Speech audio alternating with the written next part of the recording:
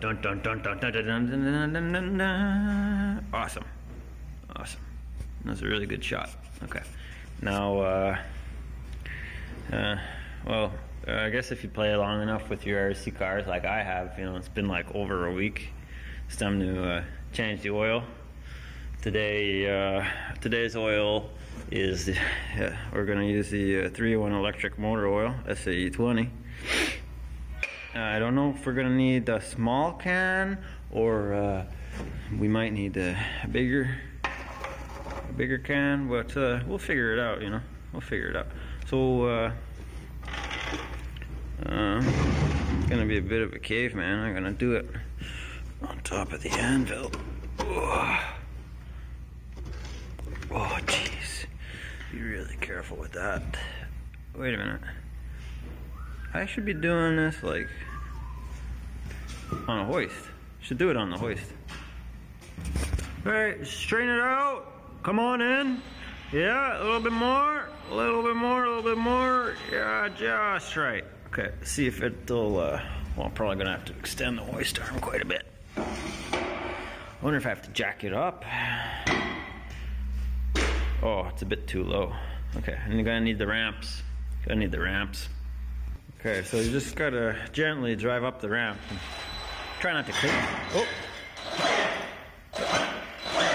Oh. Yeah, this happens all the time in school. They tell you to just uh, put your boot in it. Oh.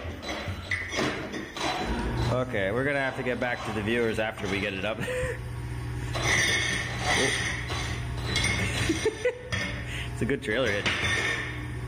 I guess we're only going to use half of the hoist because it can't fit all four pads underneath the vehicle. So uh, go ahead and pull the uh, bonnet clips off. If uh, yours is ripped just like mine, get used to it. Sucks. Now that uh, she's secured and ready to work on, we're just going to lift her up on the hoist and get right back to you when we're cracking the drain plug.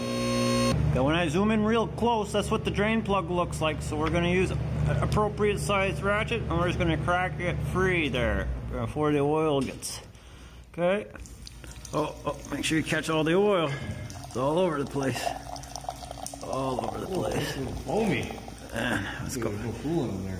Yeah, man, what's going on? It must be running rich. Jeez, it's all black. Gonna need the big can after all. Okay, now on the bench, we're gonna change the uh, the seal.